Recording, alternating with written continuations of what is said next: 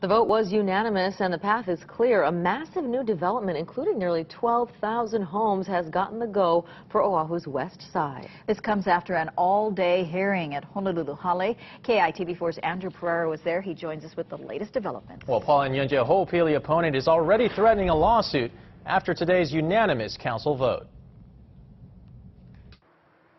Nearly 1,300 acres of prime ag land is now rezoned for residential and business use after a 9-0 vote by the Honolulu City Council. Supporters say the 11,750 homes that'll be built by developer D.R. Horton is desperately needed. 30% of the homes, or 3,525 units, will be sold as affordable, in addition to 230 affordable rentals. I have been in support of this project since its beginning. Why? Because here we are 10 years later with the housing shortage which, as you know, drives the cost of home prices even higher, which in turn either puts our people at risk of being homeless or having to leave Hawaii. I'm not the only one that supports Ho'opili. I have here uh, a portion of the 4,000 signatures that also support Ho'opili. But Ho'opili opponents say Oahu needs to grow more of its own food instead of growing traffic.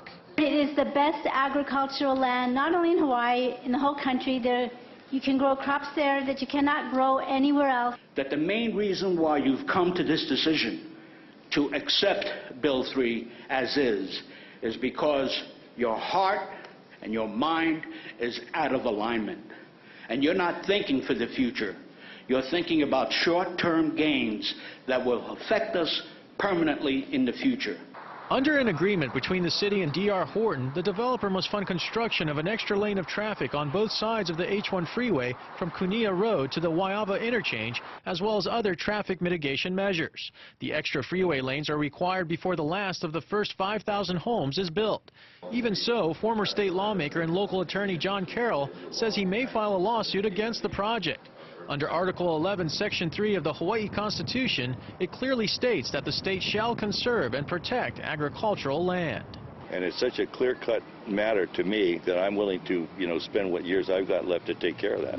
I think that, uh, you know, there are other options too. We, uh, the conditions of the Land Use Commission have been broken. Uh, we do plan on, uh, if necessary, going back to the Land Use Commission with a motion to show cause why the land should not revert. The Ho'opili project is part of Oahu's general plan and falls within the urban growth boundary. The build-out will come in phases and is expected to take 20 years.